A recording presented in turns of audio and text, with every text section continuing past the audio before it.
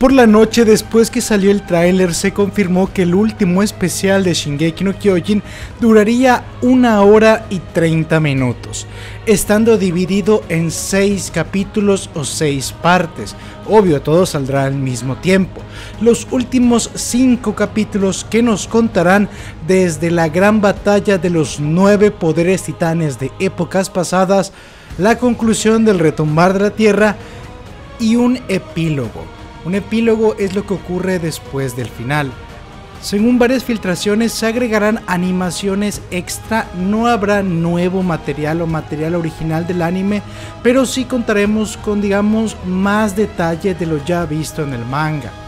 En el propio tráiler tuvimos un adelanto a estos extra que es el diálogo de Eren hacia Armin diciéndole que él siempre fue esclavo de la libertad.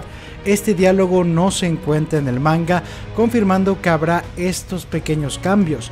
Sumado a ello, hice un video donde sugieren que incluso eliminarían escenas y todo tendría, digamos, un rumbo un tanto más claro con respecto a algunos personajes aunque muchos me han dicho que no son fuentes fiables, pero pues este trailer nos deja ver que sí habrá más material y que pues estos posibles cambios se lleven a cabo eliminando escenas también.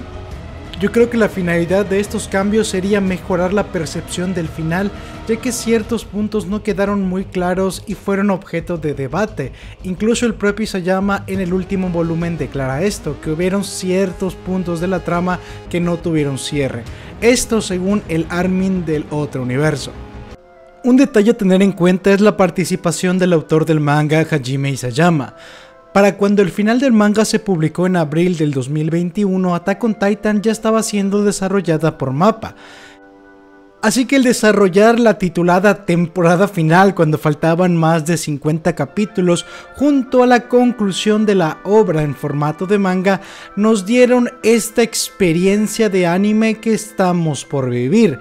Este último especial fue planeado aparentemente, ya que el último volumen, estos 5 capítulos a adaptar, pues estuvieron hasta cierto punto en conjunto con Estudio Mapa para planear lo que se iba a hacer y el espectáculo que vamos a presenciar. En varias fuentes, Hajime Isayama ha estado muy metido en la producción de estos especiales. Se ha podido ver el alta en la calidad de la animación y de cómo Mapa ha llevado a Shingeki no Kyojin a otro nivel, a diferencia del trabajo que vimos en 2020-2021 que recibió varias críticas. Es obvio que se ha mejorado y mucho.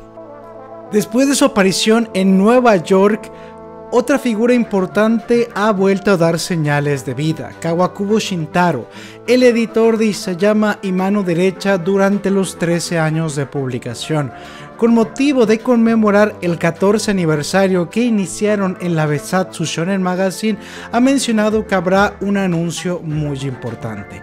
Este anuncio podría ser algo que se ha mencionado de que los dos trailers muy cortitos que hemos visto desde julio hasta este que se acaba de publicar recientemente son parte de un gran trailer que se publicaría o vería la luz hasta el mes de octubre. Kawakubo Shintaro ha creado una cuenta de Twitter titulada Shingeki no Kyojin Fly en donde el 4 de octubre habrá un gran anuncio derivado de Shingeki no Kyojin, ya sea el tráiler completo, así como muchas especulaciones que han salido por parte de todos aquellos que esperamos pues qué es lo que sigue. Podría ser información del anime, un nuevo manga, los ovas de Levi, Mikasa y Annie, o quién sabe qué. Pero esta es toda la información de esta semana llena de anuncios de Shingeki y quedamos a tus órdenes para octubre.